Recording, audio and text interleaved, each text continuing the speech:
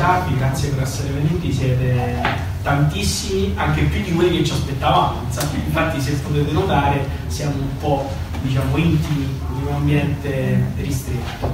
Eh, intanto vi, insomma, grazie ancora per essere venuti, questo eh, diciamo, è uno degli ultimi appuntamenti che riguarda il semestre tra, da, da, gennaio a giugno dell'Istituto Cultura Lingua Russa. Abbiamo presentato in questi mesi tutta una serie di libri, tra cui eh, Guida Moscaribelle, Storia della letteratura russa di Guido Carpi e via dicendo. Oggi mi fa molto piacere eh, presentarvi questo libro di da Sandro Tegli Editore eh, è scritto dal nostro eh, scrittore di viaggi Vittorio Russo, che è alla mia sinistra, che eh, non ha solo scritto la Transitaliana, ma innanzitutto l'ha prima progettata per circa 8-9 mesi e poi l'ha fatta, chiaramente. E progettarla significa anche eh, andare a scegliere bene il percorso, perché è una tratto di circa 9.000 km, per cui è impossibile pensare di eh, vedere tutto, bisogna anche diciamo, documentarsi prima e poi fare delle scelte regolate. Eh, noi come Istituto di Cultura e Lingua Russa eh, è chiaro che abbiamo come priorità quella di dare voce a tutta una serie di iniziative di piccoli e medi titoli che altrimenti eh, diciamo, farebbero fatica sempre a proporre i loro contenuti anche di alto livello come questo, che è un libro che ha eh, il pregio di essere eh, molto interessante perché è pieno di contenuti, è scritto in una maniera eh, leggera ma nello stesso tempo profonda e eh, secondo me è anche proprio un bel libro, un bell'oggetto, ha una copertina bellissima con una foto in realtà che si snoda per cui avete un, uno sguardo sulla Transiberiana che eh, può essere un, una bella lettura di evasione perché è qualcosa di esotico viaggio, ma nello stesso tempo secondo me può essere un bello strumento per chi veramente la Transiberiana la vuole fare come me, perché non l'ho fatta, e che eh, sta pensando poi di, eh, di programmarla e di progettarla, in questo caso anche con l'aiuto del lettore, con cui poi parleremo di questa cosa e nei prossimi mesi vedremo come, eh, vedremo come eh, progettarla.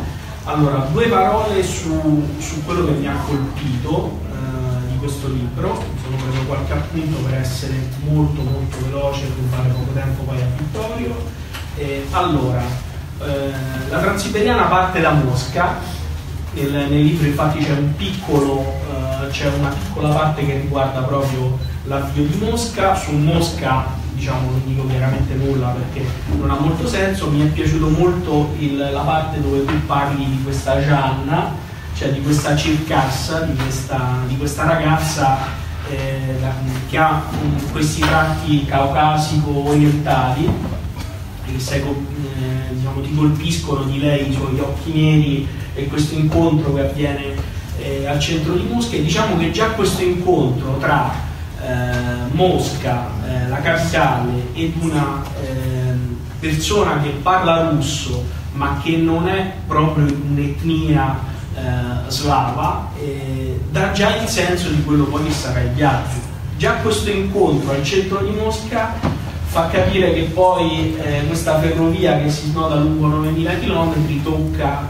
paesi e popoli differenti per cui la lingua russa è un po' una coinè, è una lingua comune ma che assolutamente non appiattisce non smorza le differenze che sono comunque notevoli. Un'altra cosa che mi è piaciuta molto è il sentimento eh, con cui tu affronti questo viaggio, che non è proprio il sentimento della scampagnata, della serie andiamo a fare un fine settimana da qualche parte, ma è una consapevolezza molto più profonda, eh, in parte maturata dai mesi eh, che precedono il viaggio, che sono mesi di preparazione e di valutazione, in parte proprio è il sentimento che tu hai nel momento in cui sei in eh, Kasansky Vauxhall, stai per salire sul treno, c'è questo treno che ha queste fiancate sporche di grasso, i freni sfiatano. La garanzia.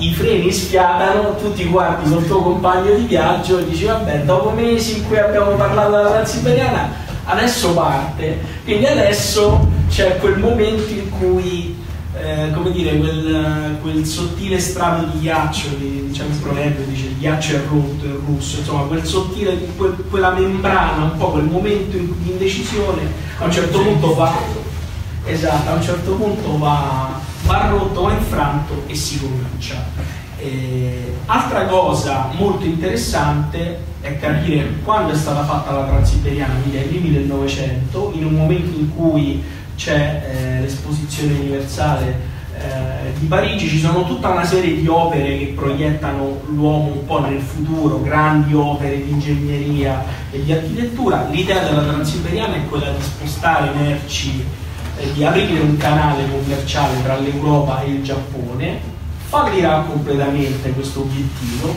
però diventerà eh, comunque una, una, via di comunicazione che, metterà, che aiuterà poi a unificare eh, tutti quei popoli, quindi un progetto che parte in una Russia che è ancora zarista e viene portato a compimento quando ancora la Russia è zarista, ma poi uno strumento che verrà utilizzato anche nel periodo dell'Unione Sovietica per unificare tramite la lingua russa tutta una serie di popoli e cominciare questa colonizzazione dell'Oriente russo.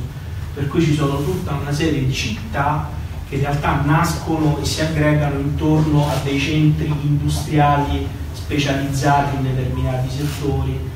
Eh, per cui è interessante anche capire come eh, la transiberiana diventa uno strumento anche di unificazione culturale in un certo senso, anche se non avviene quell'appiattimento assoluto, perché poi come potuto, come racconti nel libro, ci sono comunque tante differenze. Quindi diciamo che eh, parte da Mosca è un viaggio non solo attraverso lo spazio ma anche attraverso il tempo. È un viaggio che attraversa la storia perché viene progettata sotto la Russia zarista ma verrà poi, diciamo così, eh, utilizzata, entrerà in opera sotto eh, la Russia sovietica.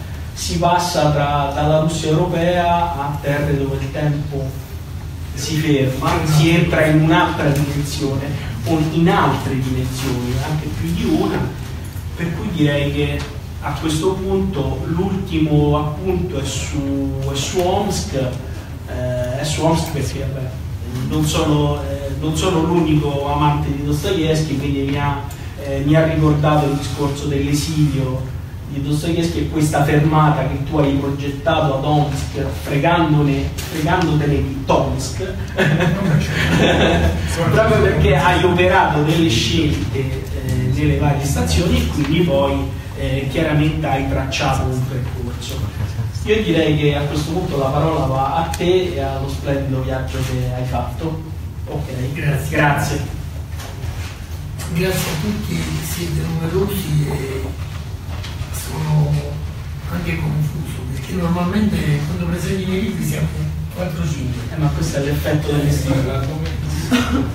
Io devo ringraziare mia sorella Ernestina che vedo a ogni presentazione a Roma di qualche mio libro. Sto pubblicando a scrivere un libro anno per eh, però scrivere un libro anno significa essere pastore di pecore, non pastore di ti ringrazio, hai detto tutto quello che mi piace ascoltare da chi legge il libro con cura come hai fatto tu.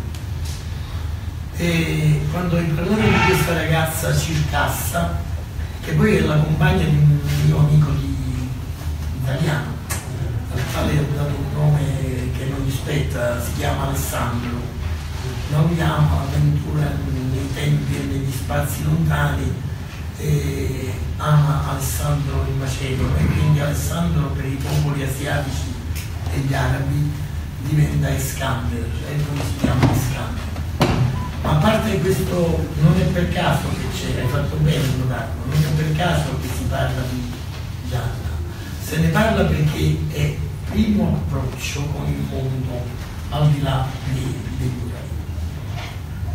io vorrei dire alcune cose soltanto lasciando al libro tutto il resto che non devo raccontare per la seconda volta a voce. Dire che nel libro non ci sono tutte le descrizioni delle difficoltà che si incontrano in un viaggio del genere. Immaginate bene che è un'avventura concepire un viaggio del genere per noi abituati alle comodità, abituati al GPS anche per andare dal salumiere, ci mettiamo in un treno e affrontiamo l'ignoto. Mi piace quello che hai detto a proposito del treno. Il treno che abbiamo visto sgarrupato, quasi minaccioso con, sua, con il suo apparente vecchiato, aveva trafilature di grasso, sembrava sudato di una fatica immane, in realtà arrivava dall'estremo oriente. E per lui è stata una botta di fiducia perché dice che questo ha fatto già il viaggio, quindi sa la strada, sa come si fa, ci dà garanzia. Rispetto invece all'oggetto diventa più importante dell'umano. L'umano è il controllore dei nostri passaporti, il controllore dei nostri biglietti, freddo, lontano, eh, artico, con la sua eh, freddezza comportamentale, senza conoscere una parola, una lingua comune. Poi abbiamo scoperto che parlare le lingue in Siberia non serve a niente. Si parla con la lingua delle persone semplici, cioè i bambini. Come si parla con i bambini? Con i sorrisi, una carezza. Naturalmente non volevamo fare carezze alle donne calmucche o, o altro, però c'era un modo di parlare, era questo monte levatoio che si abbassava con un sorriso ed era il più bello. Abbiamo, abbiamo simpatizzato con tutte le etnie che abbiamo potuto incontrare.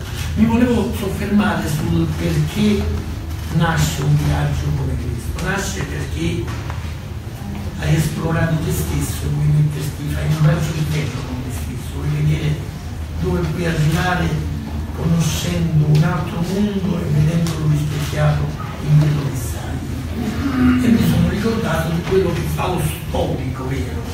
Io non sono storico, lo sono in maniera molto approssimativa, lo storico è colui che istor è colui che vede, colui che vede e che racconta quello che vede. Tutto quello che vede è degno di essere raccontato e si fa storia, altrimenti non ha senso. Il tempo stesso, dicevamo prima, ha senso se è pieno di eventi. Se nel tempo non ci sono eventi, il tempo non ha nessuna ragione di essere. Questo è stato un'esperienza per me strana, strabiliante per certi aspetti. Superate queste montagne divisorie tra Asia e Europa, il tempo è cambiato profilo, è diventato un'altra cosa.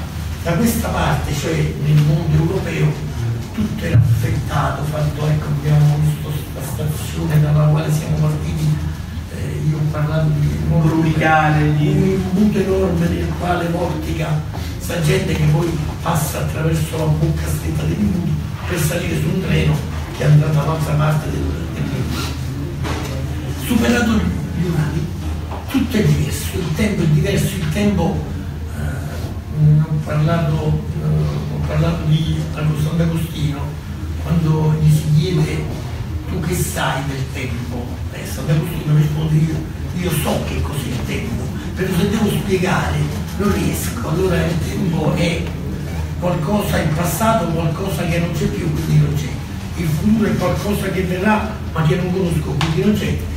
Il presente, ma il presente non è né passato né futuro e se è fermo diventa eternità. Questa è una cosa che mi ha colpito molto. Il tempo si appiattisce quando arrivi a Jekaterinburg e diventa, per me è diventato eternità. Il tempo diventa un'ombra lunghissima poi ci sono le varie descrizioni, mi piace come la dottoressa Cangiano ha letto in queste pagine del libro, di soffermarmi su questi aspetti che sono descrittivi, ma lo sono nella misura in cui io voglio con i miei sensi messi insieme in maniera sinestetica, si dice, eh, sinestesica anzi, non sinestetica, tutti i sensi confusi che hanno le stesse percezioni. Cioè sentire con gli occhi, vedere con uh, il tatto e questa confusione dei sensi che permette di percepire quello che io scrivo e quello che tu leggi e che ti ratifica molto me che scrivo perché hai detto quello che io volevo fare. Tu hai visto con i miei occhi, hai sentito queste sensazioni eh, che appartengono alla furbizia di scrivere, di rendere secondo l'attesa del lettore, fanno parte un po' dell'obiettivo di questo libro. Io volevo tornare però, scusami, ti interrompo. C'è un momento in cui tu dici che eh, si parte da Mosca, ok? Kazansky Vokzal, eh, vai verso, arrivi a Yekaterinburg, a un certo punto riparti da Yekaterinburg e c'è un punto in cui tu percepisci lo stacco rispetto alla Russia europea, cioè ti si apre davanti un'altra dimensione.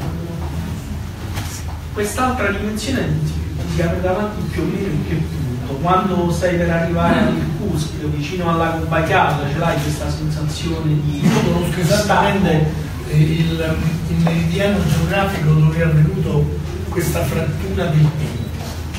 Quando il tempo ha cambiato ombra, è diventata l'ombra lunga di pigmeo, e l'ombra di pigmeo diventa lunga al tramonto. E io ho visto quest'ombra lunghissima e ho percepito tutta la lunghezza dei 9000 km da fare. Il meridiano è quello dei quali, perché è quello là il momento della separazione, ma in quel momento io ho sentito che chi scrive deve descrivere, e ritorno ancora a quello che ha fatto la lettrice Canzano, deve descrivere quello che sente, perché parlare di transiberiana può venire in una pagina, c'è pochissimo da dire teoricamente, però puoi fare una biblioteca parlando di come tu percepisci la dimensione del viaggio, la dimensione temporale, spaziale, culturale, delle tradizioni della gente che incontri e che devi conoscere a priori, leggere nel volto rotondo, perfettamente rotondo di un bambino di etnia mongolia, lo vedi, sai dove stanno gli occhi perché sono nascosti in queste feritoie e noi siamo abituati ai nostri caratteri somatici, quindi vediamo Buonasera, scusate, scusate, Alessandro. Buonasera. E quindi eh, questa è stata la, la scoperta, il tempo che non ha più senso perché non possiamo più contarlo secondo orologio, dobbiamo, infatti l'abbiamo contato per stazioni ferroviarie. È un modo di contare il tempo siberiano, ci sono mille stazioni da uso costruire, eh, fondate tutte, però sicuramente quando avevamo degli obiettivi scalavamo dall'arrivo le stazioni. si ragiona in termini di tappe di stazioni. Più o meno io ho letto che il, il percorso, per come è stato pianificato, prende circa 30 giorni. Eh, chiaramente vanno operate delle scelte, qui secondo me sono state fatte delle scelte molto interessanti perché ci si trova davanti oggettivamente a tutta una serie di città per cui bisogna studiarne prima la storia per capire se oltre a essere un insediamento industriale una forma di colonizzazione del- dell'Oriente russo ci siano anche proprio dei punti di interesse per cui valga la pena di scendere e, e dedicarti del tempo insomma. Quindi tutto il viaggio di preparazione in realtà serve proprio a quello, serve a capire eh, cosa vedere, credo soprattutto, Cosa- cosa andare a vedere. cosa andare a vedere. E questo è stato secondo, a mio avviso, la parte più faticosa della premessa del viaggio. Sembrerà strano, ma il viaggio diventa faticoso quando lo prepari, perché eh, devi concepire tutte le possibili difficoltà, ehm, come organizzarsi, se succede questo come viaggiamo, come è successo qualche cosa non prevista, eh, me lo lascio immaginare, ce ne sono di cose non, des- non descritte nel libro perché il libro vuole essere anche una sollecitazione a scoprirsi facendo questo Certo, certo. sollecitazione eh, per chi legge il libro a fare la mia esperienza con occhi diversi, con una diversa, con sensibilità diverse e, e magari con raffinatezze culturali. Eh, in questo libro non compaiono tutte le considerazioni che, fa- che ho fatto poi dopo averlo pubblicato grazie all'editore Teto, il quale ha creduto in questo libro e credo che eh, io gli sono molto riconoscente perché mi ha dato intanto dei, del- dei suggerimenti fondamentali che mancavano Infatti serve adesso proprio la parola di Sandro, e io te la lascio volentieri subito così ci racconta un po' del progetto. dopo aver detto Sì. un particolare che nasce dopo nelle considerazioni della scrittura.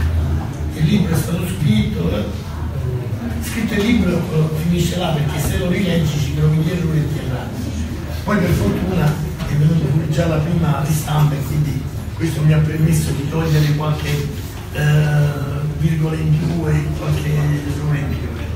Il concetto che mi è tornato spesso alla mente è quello di aletheia, è un termine che sicuramente conoscete, aletheia significa verità in greco, ma in realtà per me il termine ha assunto un significato diverso, perché eh, lete significa dimenticanza, a alfa privatico togli senza dimenticanza, cioè quello che non è dimenticabile diventa verità per il Per me togliere questo aspetto di quello che non è dimenticabile diventa il viaggio cioè questo viaggio è non verità secondo l'opportuna etimologia di Alete e Apelidesi, ma diventa scoperta e mantenimento di quello che hai scoperto, conservazione di quello che...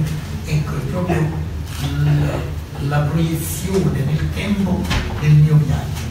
Da qui l'urgenza di scrivere direi che hai voluto affrontare un altro viaggio al termine del viaggio che avevi preparato ma poi di scriverlo è, è giusto adesso,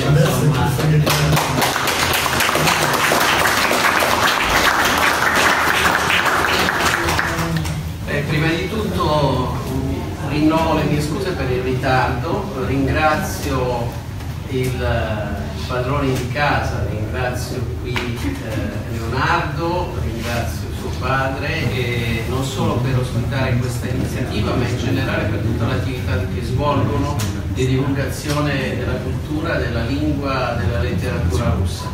E, sono molto contento di aver pubblicato questo testo, veramente interessante, un testo, molti erano, molte pubblicazioni ci sono state nel corso degli ultimi decenni dedicate alla transiberiana. Questa è una pubblicazione particolare perché da un lato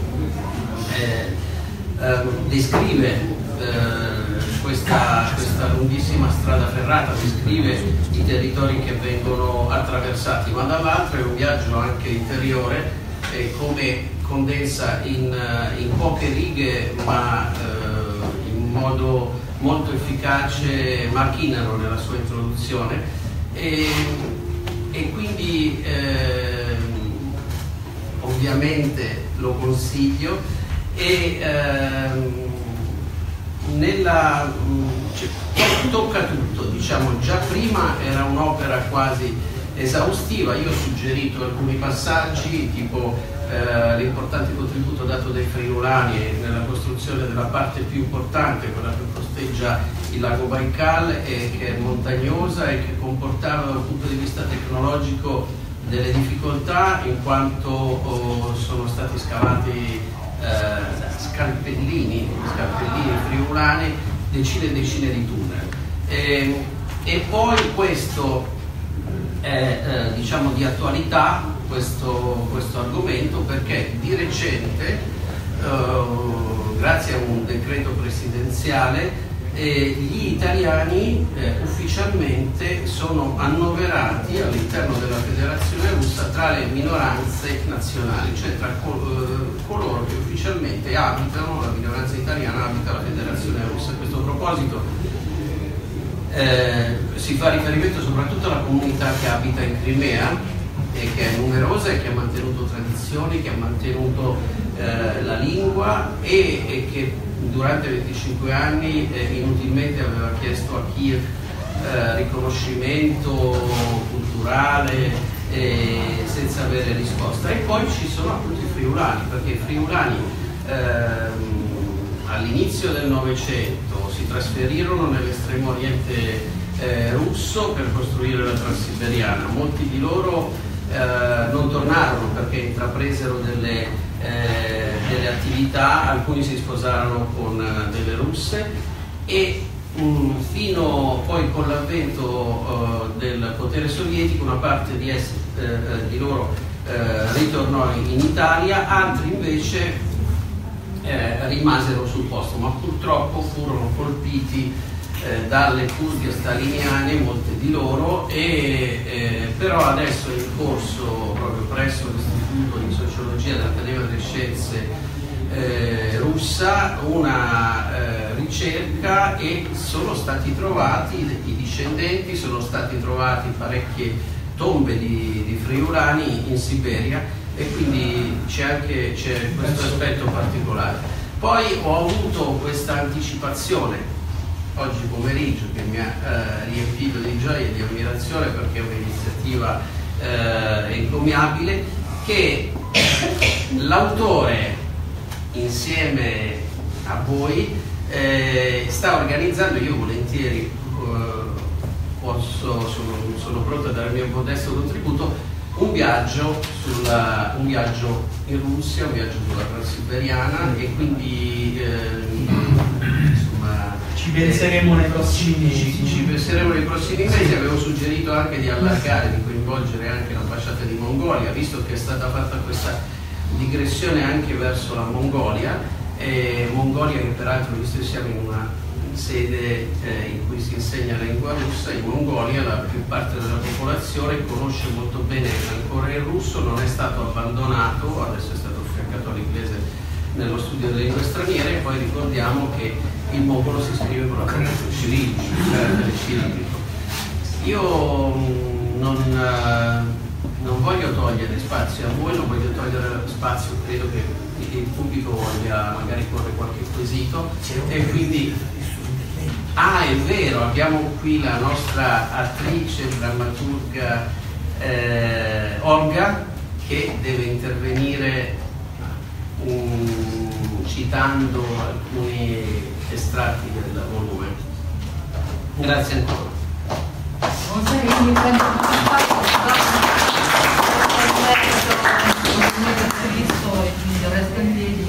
L'importante è che insomma mi sentiate. Allora innanzitutto vorrei ringraziare uh, sia l'editore sia naturalmente l'autore del libro e um, insomma naturalmente il dottor per l'intervento che ha fatto prima e vorrei appunto allacciarmi un po' a quello che è già stato detto perché è una cosa diciamo indispensabile da fare quando ti trovi a fare l'intervento per ultimo giustamente non puoi assolutamente prescindere da quello che è già stato detto. Uh, innanzitutto questo libro è un libro di viaggio, una specie tutto quello che uh, al cinema uh, chiamerebbero una docu-fiction, nel senso che ci sono sicuramente dei momenti dei momenti uh, di descrizione, per cui dei momenti uh, appunto quasi del documentario. E poi ci sono dei momenti poetici, addirittura c'è per esempio un momento in cui si consuma uh, l'atto amoroso fra una carrozza e l'altra carrozza di, di questo treno, insomma, di questa tra transiberiana. Succede anche questo, succede, uh, succedono tantissime cose. La transiberiana, come ha già detto anche il dottor Pertuzzi, diciamo che è una strada che uh, in realtà mh, mm, è stata pianificata, è stata programmata nel 1900, è stata gemellata con la torre Eiffel, però per così dire non è per certi versi, uh, dunque ha più percorsi sul permafrost e mh, mm, diciamo che secondo alcune definizioni questa strada non è ancora costruita fino in fondo, nel senso che c'è sempre il progetto di continuare, di portarla a termine, di portarla uh, di modo che uh, ci sia sempre più collegamento, ci sia sempre più commercio fra un punto A e un punto B e come ha già detto il dottor Perducci, tutto ciò che è il commercio sotto diciamo, questo progetto qua uh, un po' fallisce continua a fallire e lo fa già dal 1900 e mentre invece quell'altro progetto, quello culturale, quindi un legame culturale tra un punto A e un punto B e anche cioè arriviamo fino ai punti Z addirittura. Sì, sì, sì, fra, diciamo, uh, il legame culturale è quello che invece prende forza. Mm-hmm. Addirittura adesso questa strada diciamo, non è soltanto unificatrice di tutta la Russia, ma addirittura c'è anche una digressione uh, nella Mongolia e anche in vari altri paesi che poi comunque uh, confinano con la Russia uh, da Urei in cos'altro? E naturalmente vorrei dare spazio alla parola, alla voce interiore dell'autore, perché con l'autore abbiamo fatto una specie di telefonata e gli ho chiesto, ma Vittorio, lei come si sente? Adesso che il libro ormai sono mesi che è uscito, cosa vorrebbe oggi dire ancora sul viaggio che ha fatto un po' di tempo fa?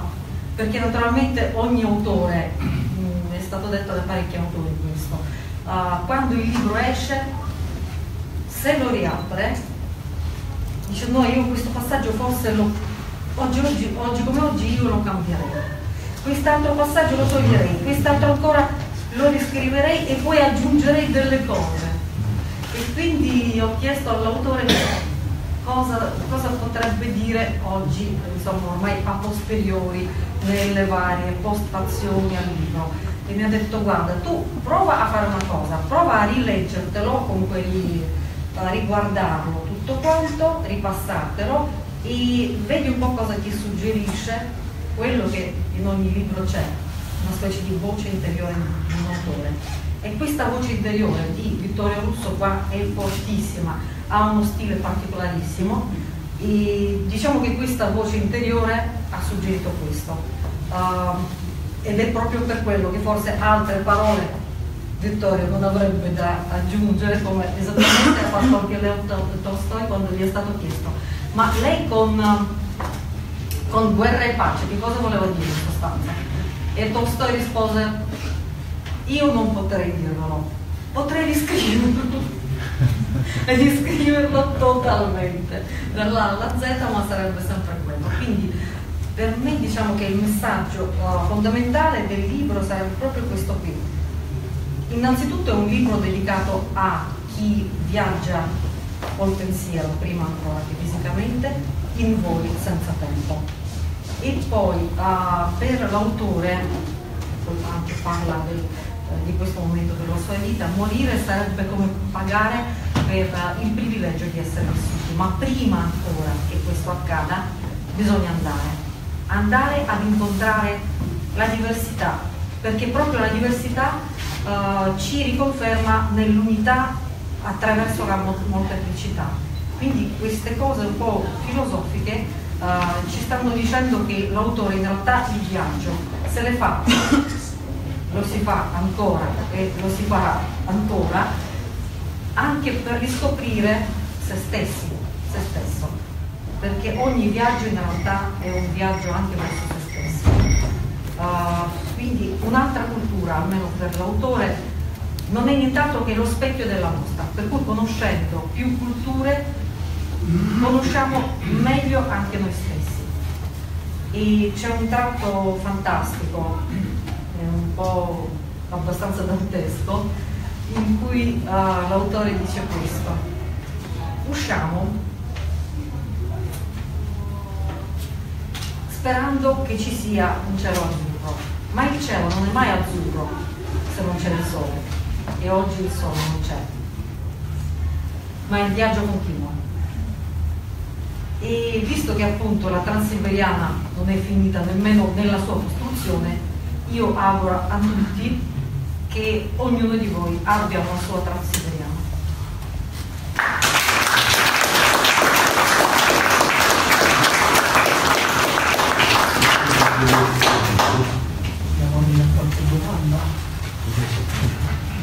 qualche domanda. Eh... Prego. 9000 km, quante ore sono passate sopra le ruote del treno che girano? Prima domanda. E quante fermate? Quante città visitate? Quanti giorni fermo? C'è il rapporto tra il percorso e il tempo per guardarsi intorno algebricamente le stazioni, cioè per contare in termini di pezzi, da Mosca a Vladivostok sono oltre mille stazioni, non le ho contate, le ho lette. Eh, come si misura il tempo, non certo più con l'orologio, soprattutto una volta l'Arcadia di Urali cambia la dimensione del tempo, lo dicevamo prima. E quindi il tempo lo misuravamo in stazioni abbiamo ancora 40 stazioni da fare per arrivare a e, ed è un, un ottimo modo di. Ho notato una cosa, in Siberia la gente non ha orologi. Non è forse per caso che io ho notato questo, perché il mio orologio non sentivo più, l'ho, girato nella parte, ecco, così, tanto non mi, non mi serviva guardarlo, però era presente in me, nel mio compagno di viaggio, il concetto di tempo. Prima in qualche riflessione filosofica viene fuori qualche punto di vista che appartiene poi alla logica del libro. Il tempo effettivamente ha senso quando lo riempi di eventi. Se non ci sono eventi il tempo non, non ha molto valore. Non hanno valore neanche le cose se il tempo che dà loro una dimensione non è riempito di qualche evento. Eh, spero di aver risposto alle sue domande. E il riferimento era alle cose viste, ossia il, tempo seduto su un divano del treno, divano. È diverso, divano, sedile, è, è diverso dal tempo passato camminando in una città. Si ha tempo, si ha modo di vedere qualche altra cosa che il divano, perché 9000 km significa almeno eh, andando anche a 60 di media, tante ore passate dentro il treno, non fuori. Quindi si vede un po' di panorama, ma c'è, c'è modo di vedere, di parlare con la gente, di visitare San Pietro, tanto per dire come, come un esempio. Certo, uh, al mio compagno e a me interessava fare un viaggio soprattutto alla ricerca di noi stessi, confrontandoci con un mondo è un po' un braccio di ferro, credo di averlo pure scritto. La verità è che il vero viaggio l'abbiamo fatto nel treno, nel treno fra la gente che abita nel treno, perché per noi era un viaggio di curiosità culturali, etnografiche, ma per chi sta nel treno e viaggia per motivi di lavoro, per ragioni più varie, quella gente era il nostro obiettivo. E vi assicuro avrei potuto scrivere presunzione a parte ancora tre volte questo libro se avessi voluto raccontare le esperienze di conoscenza con i bambini, con uh, il Samoiedo che si trovava lì come noi per fare un breve... Ora, queste persone sono il motivo scatenante previsto nel nostro viaggio. E noi li abbiamo toccati con mano, siamo scesi in questi gironi dell'inferno, perché tali sono, la terza classe siberiana, transiberiana, una dimensione tragica, tutto, tutto aperto, tutto sfilestato, genere però abbiamo, abbiamo simpatizzato senza parole. Noi perché destavamo la loro curiosità, loro perché erano la nostra curiosità, i bambini ci toccavano per vedere di che materiale umano fossero fatti. Ed è bella questa sensazione del bambino che ti guarda, prima spaurito, poi confidente, prima nascosto dietro la madre, poi con quegli oggetti che finalmente si aprono dietro queste feritoie degli occhi, queste piccole veste sembrano quelle, quelle forme olmeche perfettamente rotonda, così sono le teste dei bambini di quella parte del mondo. E comunque ci sono queste cose descritte così, non tutti sono piacevoli da vedere questi volti, soprattutto in Mongolia abbiamo visto volti scolpiti con piccone, zigomi sporgenti, facce tagliate, però in tutti poi c'era questa umanità che siamo noi. Ecco, la cosa che mi è piaciuto dire con occhio neutro tanti popoli, non so quanti sono, una novantina di etnie unite sotto una stessa bandiera. Questa è una cosa molto bella, perché questi popoli sarebbero scomparsi come identità, come cultura, come tradizioni, se non avessero avuto una comune patria. Poco sentito, molto sentita, questo non mi interessa neanche più di tanto, ma hanno riferimento dentro quadro Grazie. Grazie. Avevamo una domanda da parte del direttore dell'istituto. Ciao Sandro. Che segno di No, praticamente. Io purtroppo non ho avuto la possibilità di leggere perché avevamo una sola copia e Leonardo se l'è presa per fare la presentazione, per cui spero che sia in vendita, quindi assisterò per avere la firma del suo autore. No, volevo dire che io ho avuto due volte la possibilità di fare la transiberiana. 15 anni fa quando Alberto Angela si noi per fare un servizio sulla transiberiana e mi era venuta voglia di accompagnarlo io stesso invece di arrivare a Mosca c'era un mio amico giornalista russo che conosciamo molto bene l'italiano e quindi fece accompagnare lui. Al ritorno Piero Angela mi disse caro direttore eh, purtroppo siamo dovuti tornare in aereo perché avevamo poco tempo altrimenti l'avrei fatta anche diciamo così, al ritorno e quindi questa è la prima volta, anzi la seconda volta. La prima volta avvenne nel 1962, quando io cominciai a studiare all'Università di Leningrado, nella facoltà di filologia, scienze e lingue slave, e avevamo un mese di tempo, nel gennaio del 63, per, perché l'Unione Sovietica offriva agli studenti stranieri la possibilità di fare un viaggio. Molti amici, noi avevamo una decina di italiani a Leningrado, scelsero di andare a, attraverso la Transiberiana a Pechino. Andarono per un bel pezzo in Transiberiana, poi presero la piega di Colo per Pechino e ritornarono, dissero ma perché fesso, perché non sei venuto, è una cosa meravigliosa. Dice ma tu che hai fatto? Guarda, non ti posso dire, sto ancora a piangere, perché io ho scelto, ho scelto Tallinn, l'Estonia che era vicino a attaccata. attaccata a Leningrado per essere comodo, eccetera, e allora l'Estonia era soltanto da 20 anni, 22 anni sotto l'Unione Sovietica e c'era un forte sentimento antisovietico, anche vero che io entrai in una periosca, i famosi certo. per, stranieri, dove si poteva pagare in valuta e ero 3-4 mesi, parlavo appena un po' in russo e dissi Извините, девушка, можно смотреть янтарную там бусы? Scusi signorina, posso vedere questa collana di ambra? Quella stava e non mi rispondeva una, due, tre, quattro, ma rimortacci due.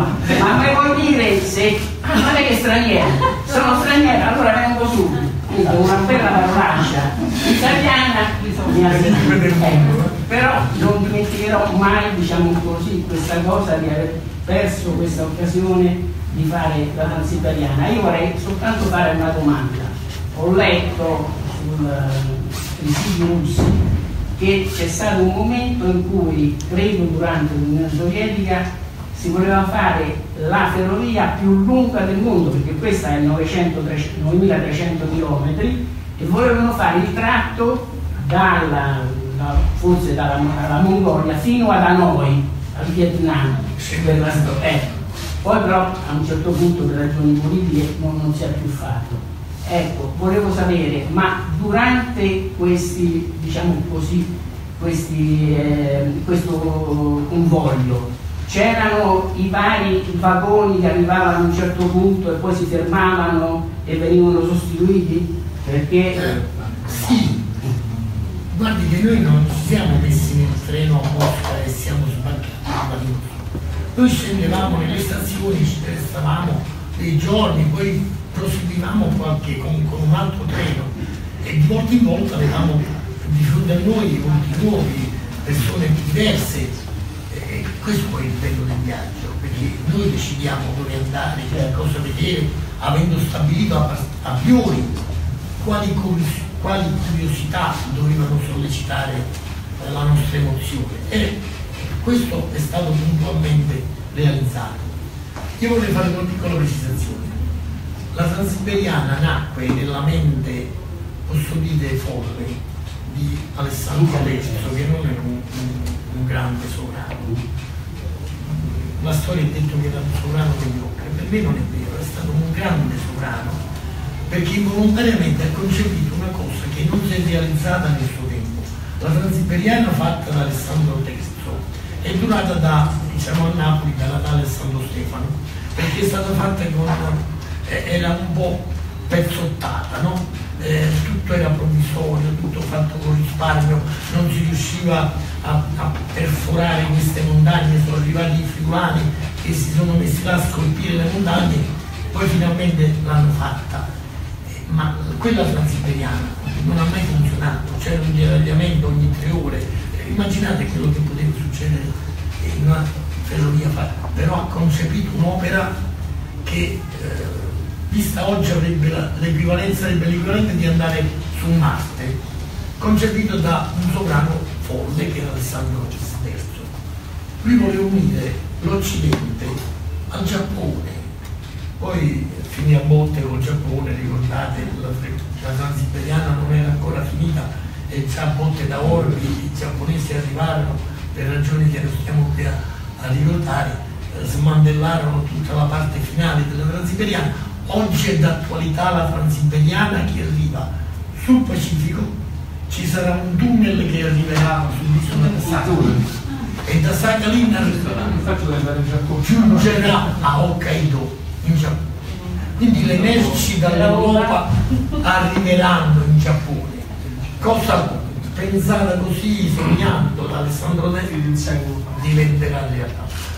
Come sono i treni? C'è uno scartamento diverso tra Russia e Mongolia. Ma noi non siamo andati in Mongolia in treno, ci siamo andati con un pulmanino che sembrava uscito da un cartone animato. Era piccolo, gonfio di persone, io ho detto ci sentivamo come le, le scorze di un carciofo l'uno appoggiato all'altro. Io e il mio compagno che è abbastanza esteso in latitudine. Quindi siamo scesi lungo questo percorso della Mongolia, immaginando uno spazio infinito dove tutto verdeggiante, almeno durante la stagione buona, e di tanto in tanto c'è una montagna appallottolata alla buona, poi di tanto in tanto qualche cavallo, qualche yak, qualche altro animale eh, in quel bellissimo eh, book trailer che ha preparato eh, una delle collaboratrici dell'editore che secondo me sarebbe bello vedere, tutti, però non so se possiamo. È molto bello e ci sono questi cavalli che percorrono eh, gli spazi infiniti della Mongolia eh, da pelle d'occa, perché noi abbiamo visto quello che lei, senza essere stata in Transiberiano, in Mongolia, ha, ha letto nel Ma l'hanno ospitata in una yurta siamo stati nella yurta che non si chiama yurta, yurta si dice in Russia, eh, si chiama Ger. Siamo stati nelle Ger. Ci sono degli odori caratteristici che io non dimenticherò mai, siamo tutti nel naso. E sono odori di formaggio, di latte cagliano, di latte andato a male. Eh, del latte i mongoli fanno tutto. Un formaggio che non riescono a masticare perché è duro come la pietra delle rocce del Baikal lo mettono in bocca e lo succhiano come fosse un caramello. Io ricordo questi sapori della guerra.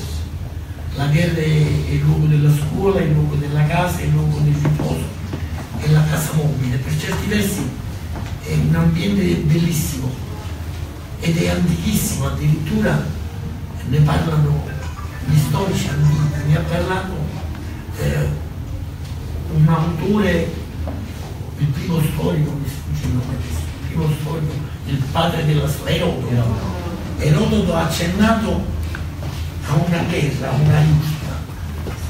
io quando sono andato a leggere questo passaggio di Erodoto mi sono ritrovato nella giusta perché secondo me non è cambiato nulla. Magari oggi la giusta ha anche le ruote di legno perché la spostano secondo le esigenze. E in Mongolia non ci sono stalle, non ci sono luoghi dove eh, ricoverare gli animali. Gli animali vivono all'aperto, la Mongolia è, con rispetto per la stalla, è una stalla enorme, dove gli animali sono liberi. Poi subentra l'inverno, eh, ma è inverno anche l'estate perché per effetto del permafrost, permafrost è quel, quel fenomeno che vede il terreno congelato per migliaia di metri in profondità quindi è costantemente congelato da milioni di anni e si vive nelle chiese perché sono l'ambiente più adatto alla vita. La casa di pietra finirà per trasmettere là che la sposti. A questo punto ho dimenticato lo solo Ah, lo scartamento dei freni.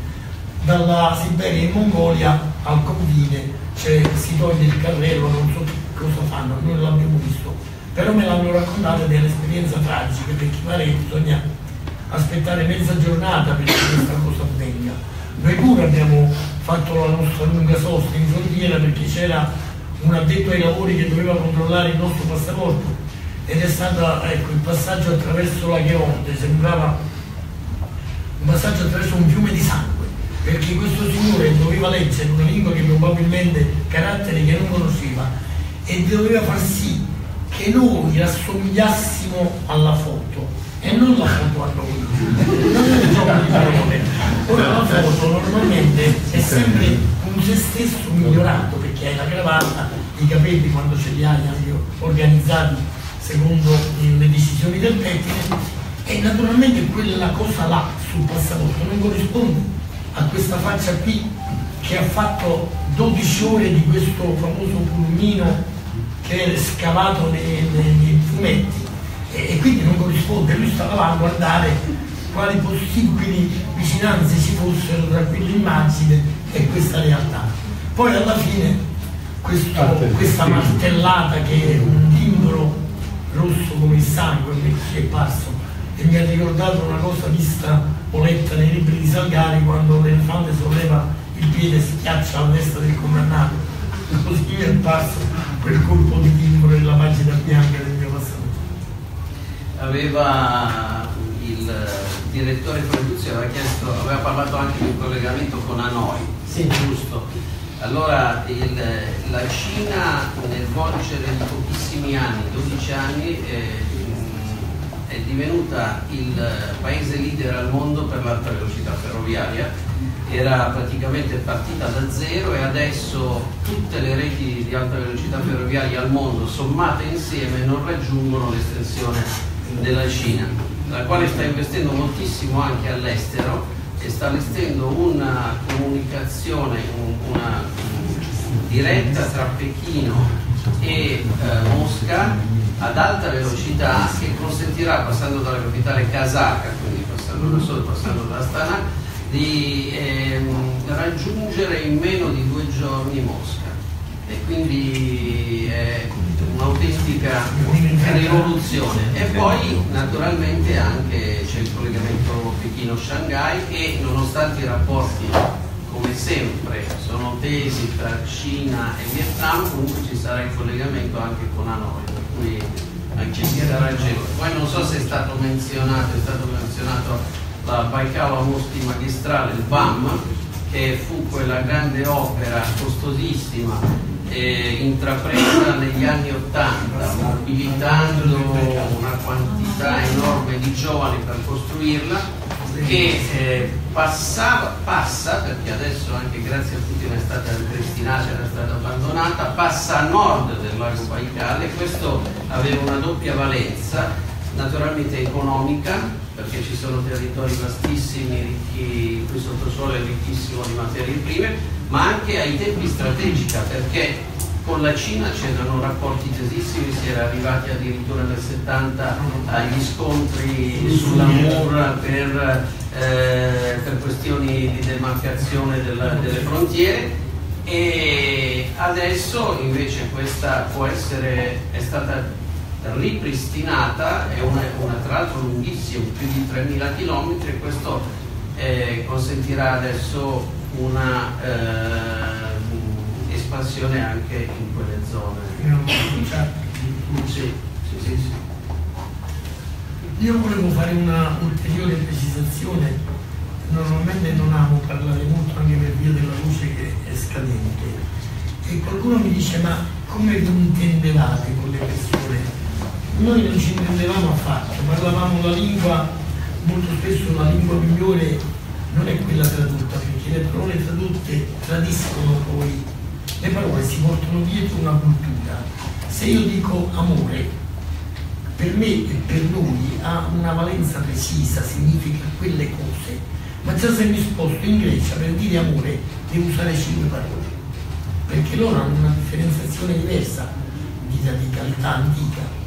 Ora, come si parla con qualcuno dall'altra parte del pianeta eh, che parla lingue che non hanno, non hanno niente della nostra... non puoi parlare, allora forse la migliore lingua è il silenzio. E il silenzio diventa talvolta, dovrebbe diventare la madrelingua dell'umanità, perché molte parole sono assolutamente superflue. Me ne sono reso conto parlando con dei bambini di quell'altra parte del mondo, senza parole. E quando ho incontrato un bambino che conosceva l'inglese, è stata una tragedia, perché questo bambino, conoscendo l'inglese e potendo esercitarsi agli occhi della mamma che non parlava niente, non parlava il suo russo, ma era orgoglioso di vedere questo bambino di 7, 8, 10 anni che parlava inglese con noi che venivamo da un altro mondo. È una cosa bellissima. In genere sono i nonni che raccontano ai. E ho visto questo bambino di 9 anni che mi ha raccontato una fiaba. Una cosa meravigliosa, mi ha raccontato una fiaba di Tolstoi, traducendo mentalmente, io non conoscevo che le traduceva, ma traduceva con una perfetta sincronia e raccontava questa fiaba dei due cavalli, poi cosa questa fiaba di Tolstoi me l'ha raccontata come se fossi io il bambino e lui l'adulto che mi guardava, perché poi la fiaba di Tolstoi ha un suo significato, quindi eh, stranamente mi ha raccontato questa fiaba e mi ha chiesto ma che significa. ho detto crescerai, no? a un bambino non bisogna mai dire da grande capirai, bisogna dirglielo subito quello che però io non sapevo che cosa dirgli perché effettivamente lì ci vuole il tempo per capire quello che voleva dire Tolstoi con questa soluzione. Questo è tutto quello Mi che permetto volevo solo di chiosare questo Vittorio, che il discorso della, della sintonia tra popoli con le gestualità è un discorso sicuramente giusto perché esiste un codice che va oltre le lingue.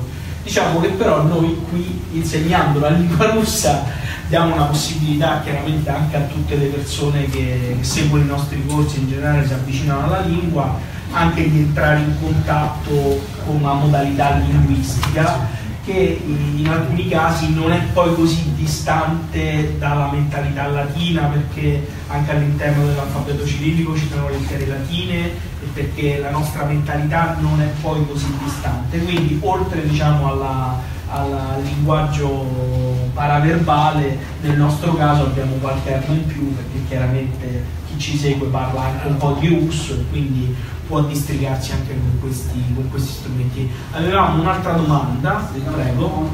Valerio Antonello, uno studente dell'altro del corso di russo, ma non una curiosità, perché della transiberiana conosco solo il fatto che divenne improvvisamente di moda, però come per mia conoscenza, quando era adolescente negli anni 70, che era per quel tipo di gioventù un po' blitz, un po' politica, così, un viaggio di iniziazione come andare in India, cioè quel viaggio in Messico, però casomai era famosa anche prima come, come cosa turistica da fare, diciamo turistica o iniziatica, era, anche, era famosa no, turisticamente, era famosa prima come nota o, o una cosa degli anni 60-70 come divulgazione di massa, di fama, dicevo. Se ho capito bene, lei mi chiede come nasce il mio viaggio. No, no, come nasce la fama del- Ah, ho viaggio capito. eh, turistico de- della No, Transiberiana? l'ha detto lei stesso, nasce in, quella- in quel clima di moda. in quegli anni là, insomma, poi era famosa anche prima anni- della seconda guerra mondiale, chiedevo, era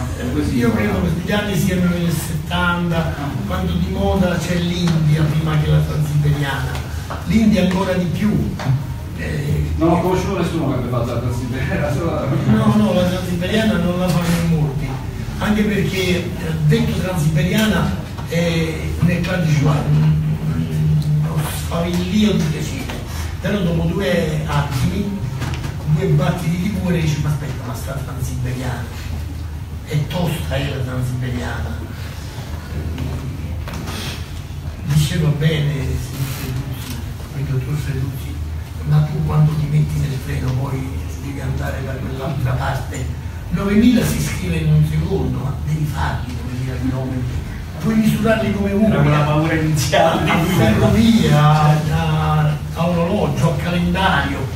Misurali come vuoi o con la clessidra sono 9000 km irreversibili e eseguibili e quindi effettivamente Poi ecco, il mito cade eh, come un castello di sabbia, però se, se sei convinto che quel viaggio lo fai prima da una parte all'altra di te stesso e poi da una parte all'altra del mondo, e allora è possibile farlo.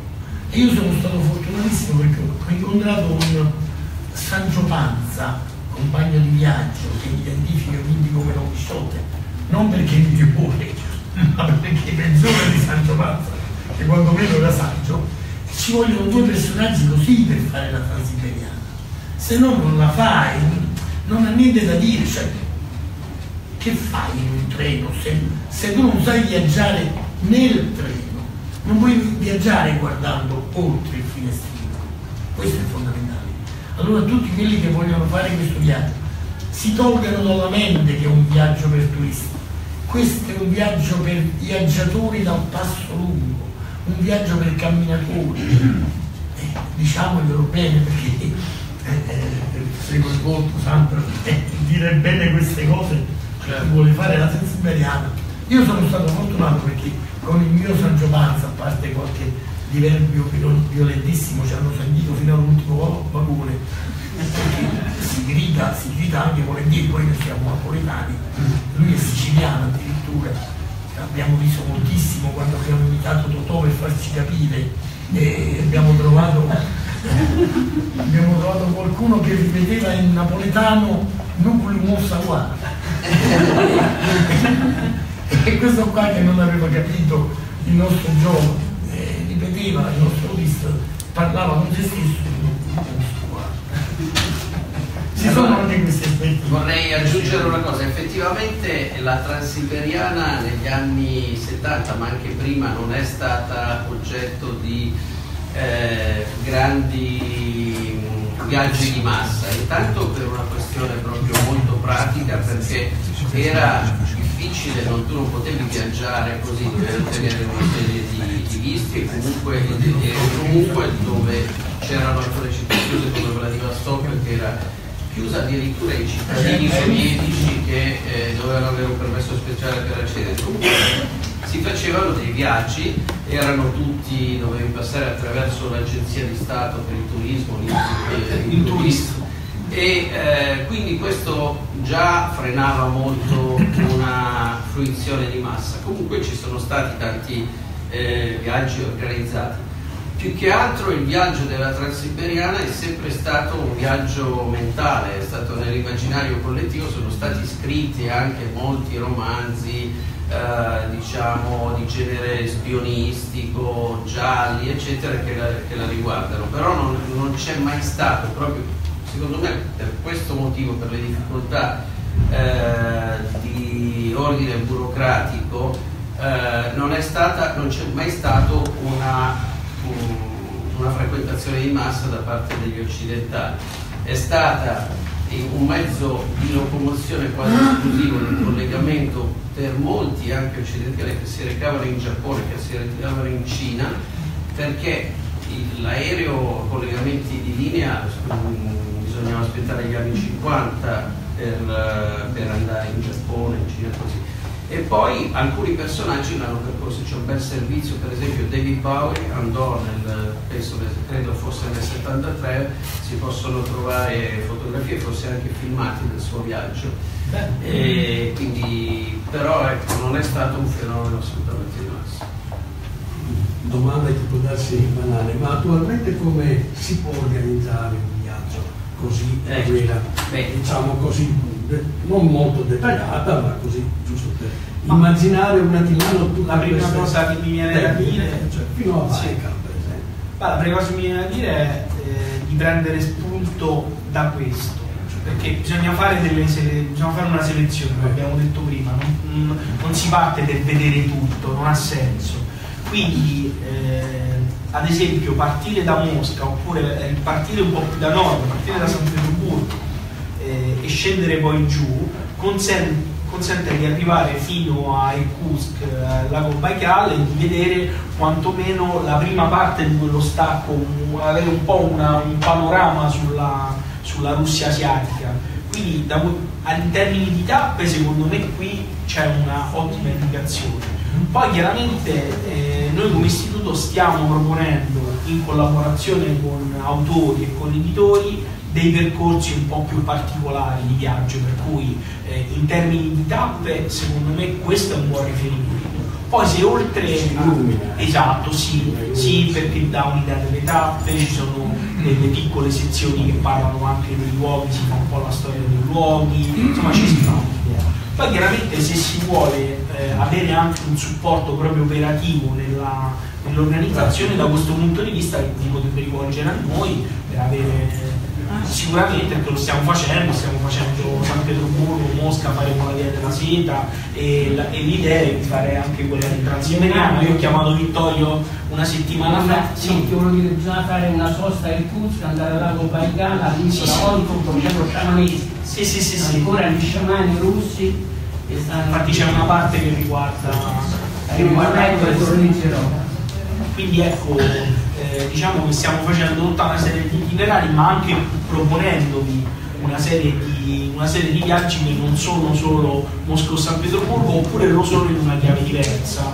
Eh, sia a San Pietroburgo che a Mosca facciamo degli itinerari che riguardano anche la, la letteratura, la storia naturalmente, ma anche la letteratura e poi uscendo un po' fuori dai nostri Scopriremo con questo libro praticamente. Secondo me sì, la, la, diciamo, è un buon modo per cominciare a documentarsi, perché abbiamo detto prima che è un viaggio eh, cui, per il quale bisogna documentarsi, è un buon modo per cominciare, poi magari apre anche alla fantasia un approfondimento di, di altri dettagli. Poi io con il mio amico San Giovanza il viaggio ce lo siamo organizzato ma il tuo amico poi esiste o è un personaggio? Io, io, adesso ho il sospetto che sia un personaggio immaginario. La proiezione. Eh, questo libro ha avuto un notevole successo di pubblico, parecchie presentazioni.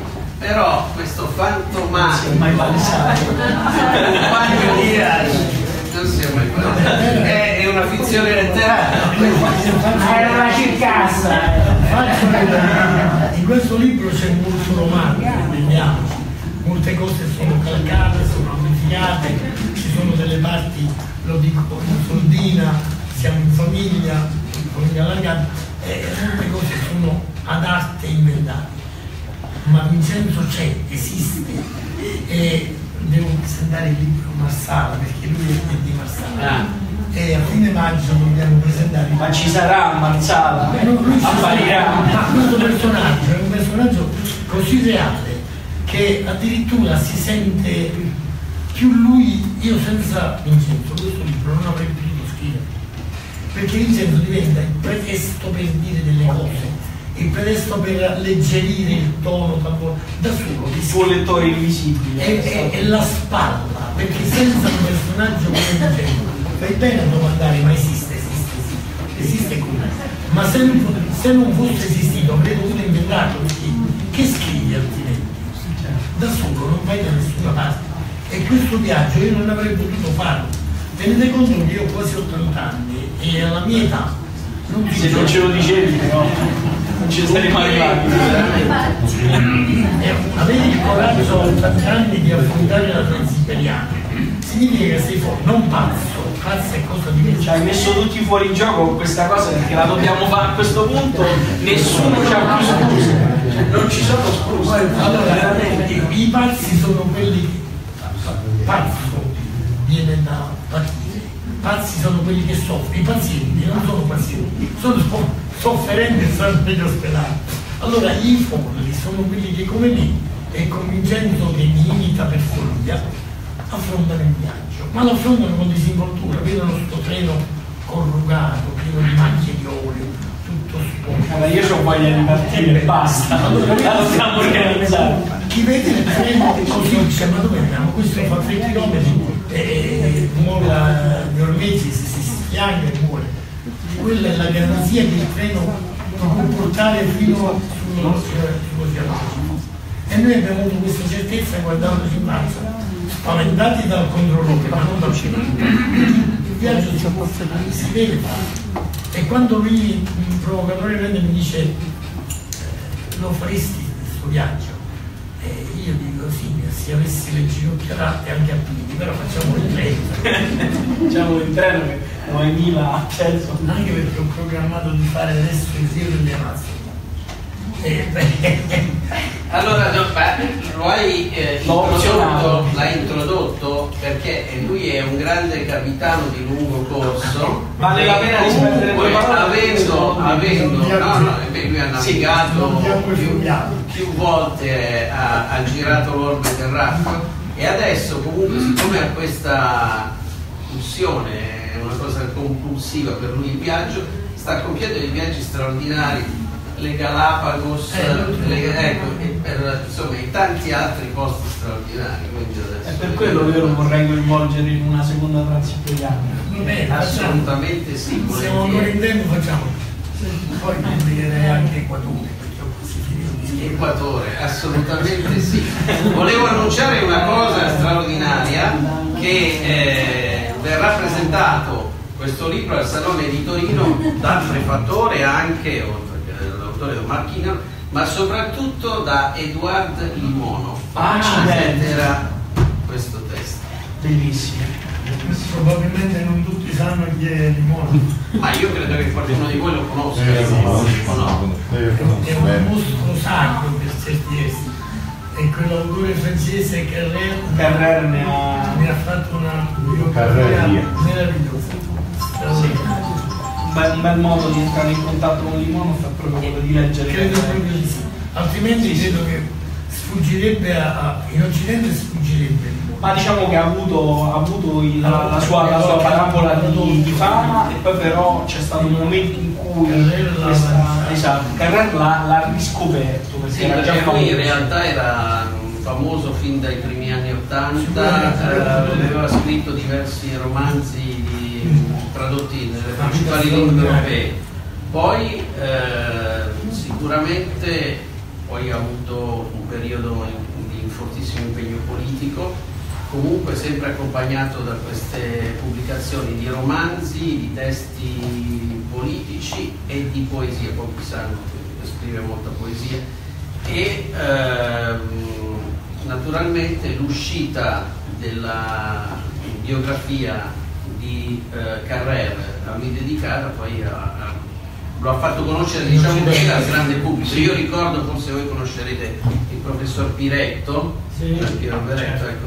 lui per esempio già nei primi anni 80 aveva tenuto un corso sulla scrittura di eh, Limonov eh, era ancora era a Bergamo, l'università di Sì. Bergamo, poi quella di Comunque insomma, quindi era, eh, era conosciuto soprattutto in ambiente Mi letterario. piacere perché Limonov nel contesto anche del, del sangue del libro può dare una bella visibilità E poi- a questo testo, quindi è una bella, è una bella notizia questa E qua. poi- Marchino Eh, e annuncio anche l'uscita invece del libro di Limonov che verrà a presentare anche a Roma E lo organizzeremo insieme. e zona industriale su, sua biografia biografia vera Dopo quanti anni esce dalla Russia Limonov? dopo più di 20 anni durante i quali è stato in galera, durante i quali non ha avuto la possibilità di uscire, durante i quali invece negli ultimi anni, avendo riacquisito la possibilità di espatriare, è stato preso da una paranoia,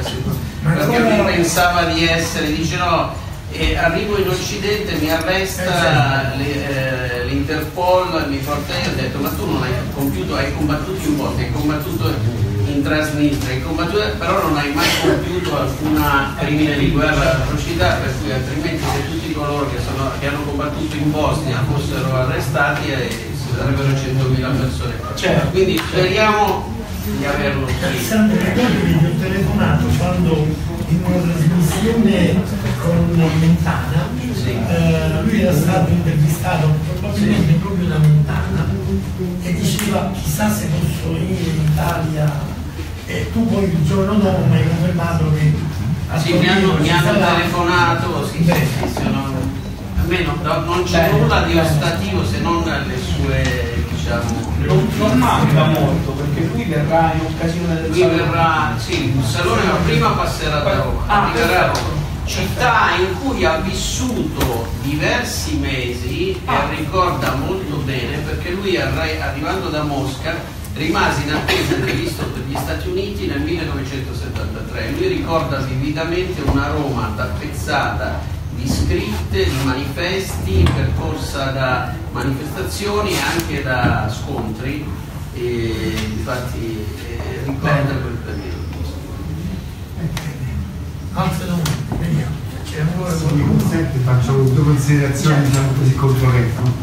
La prima che anche da questa presentazione in alto emerge l'impero multietnico, multiculturale della Russia, no? perché purtroppo la Russia si ha sempre l'immagine monolitica, no? forse deriva da- da- dalla storia, mentre invece no, è, mi sembra si parla di 62 etnie più, 100, No, no, Certo, circa 100. certo, cioè, quindi- ma comunque questa ricchezza no, è, Ah. è- cioè, è- è viva e esistente, purtroppo è diciamo, del frutto delegata no, politicamente, culturalmente.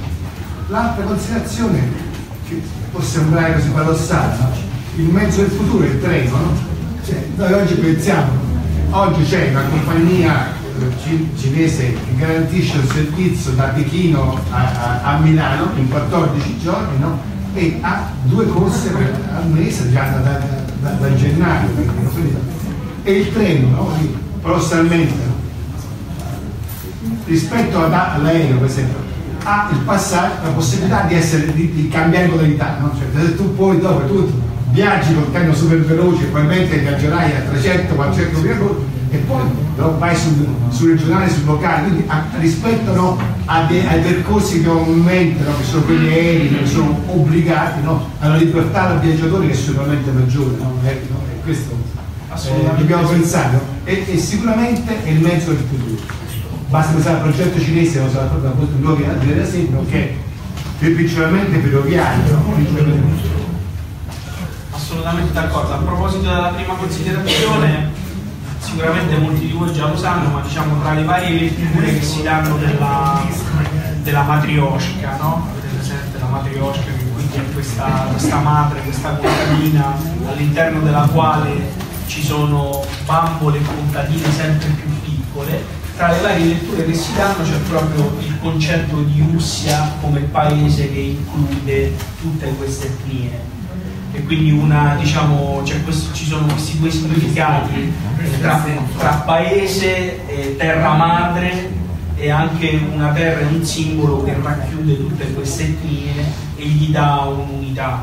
Quindi quello, la matriosca, ma anche questa strada ferrata di 9000 km, ma anche la lingua russa che Sì. arriva un po' a congiungere tutte queste etnie e le fa convivere pacificamente insieme. Sì, poi eh, visto che siamo in questa sede immagino che voi sappiate che la Costituzione russa, che intanto la Russia è un paese multietnico e multiconfessionale, la eh, la Costituzione russa contempla quattro religioni fondanti che sono il cristianesimo ortodosso, che sono eh, la religione musulmana, quella ebraica e quella buddista. E poi ci sono tutta una serie di altre religioni che comunque hanno, mm, hanno diritto, esistono e sono professate. C'è ancora eh, una forte percentuale di, di atei e di agnostici nel paese, e però tutte le lingue eh, minori sono insegnate nelle varie entità, nelle varie repubbliche. Ci sono, io eh, di recente ho visto, ho, mm, ho comprato il, eh, come si chiama, il Literatura Gazzetta e c'era un inserto eh, dedicato alla poesia delle lingue non russe e qui avevano fatto un concorso, eh, un premio letterario, quindi c'è un'attività intensissima anche nelle lingue, nelle varie etnie e poi facciamo un esempio, semplicemente le lingue turchiche o turcofone che siano. In Russia, la Russia è suddivisa in una novantina circa, poco meno di entità e ce ne sono 36, 36 che ehm, di queste dove la lingua a fianco al russo è una lingua turcofona, come per esempio il, il tartaro, come eh, il bashkiro come lo yakuto, eccetera, eccetera, eccetera. Tanto è vero che la Russia dovrebbe entrare come paese osservatore anche nell'Unione turcofona proprio perché ci sono 36 eh, etnie che, eh, che, parlano diverse lingue turcofone. Compreso l'Idish. Eh? Compreso l'Idish. No, l'Idish è una lingua germanica è una lingua germanica e l'Iddish è la lingua ufficiale e anche qui se andiamo possiamo fare una piccola andiamo a lambire la Repubblica Autonoma degli Ebrei con capitale Irobichan e lì le lingue ufficiali sono a fianco al russo c'è l'Iddish e l'Iddish è, è, è diciamo all'8-9% composto di parole ebraiche e però è principalmente basato sul, sul tedesco quindi eh, era la, la lingua ricchissima di, di, cultura, di poesia del, di tutti gli ebrei ashkenaziti, cioè gli ebrei del... Sandro, comunque in, nella federazione russa c'è l'1% di origine ebraica e in tutte le amministrazioni, dal, dal uh, Consiglio dei Ministri agli altri hanno l'1%, per cui siccome hanno circa 100 tra ministri, primi ministri, disse c'è, uno che è ebreo, proprio per rispettare questa... No, in, in questo ti devo, come, come dire, ti devo dire che la percentuale di ebrei ai vertici russi è almeno 15 volte superiore a quella della, almeno se noi prendiamo in tutti i settori, da quello degli oligarchi a quello dei grandi scienziati, quello della musica, a quello della letteratura, a quello del cinema, a quello del business e anche a quello politico, perché eh, molti, noi abbiamo già avuto in Russia tre primi ministri ebrei, per esempio sì. Fratkov, pochi sanno, Fratkov che in realtà ha cambiato nome come aspetto era ebreo, un altro, come si chiama, israeliti, il suo vero nome era, come si chiama, negli anni dell'88 c'è stato un altro ebreo, Nemtsov, che è morto, poi è stato ucciso, Nemtsov che non era premier ma è stato vice primo ministro, Nemtsov anche ebreo, quindi insomma c'è eh, una presenza ebraica molto consistente. E poi, e poi il rabbino capo di tutta la Russia è un milanese Babic di origine milanese addirittura, vabbè questa è un'altra storia. Ok, bene, è stata veramente una grazie. Ringraziamo per la presenza.